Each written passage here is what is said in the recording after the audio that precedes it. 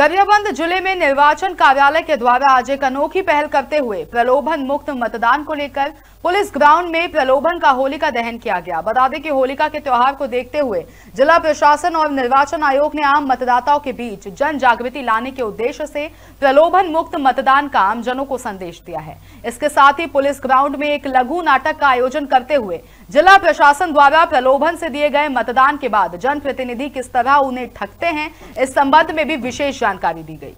में लोकसभा चुनाव के तहत जो है स्वीप कार्यक्रम हमारे ज़िले में चल रहा है तो उसी स्वीप कार्यक्रम के तहत ये प्रलोभन दहन का कार्यक्रम रखा गया था। इसका उद्देश्य जो भी हमारे मतदाता हैं, उनको जागरूक करना कि बिना किसी प्रलोभन से निष्पक्ष होकर और निष्पक्ष रूप से मतदान करें। तो ये संदेश देने के उद्देश्य से कार्यक्रम रखा गया था।